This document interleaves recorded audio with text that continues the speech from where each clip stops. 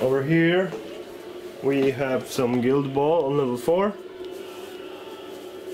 Also looking really nicely. Really nicely.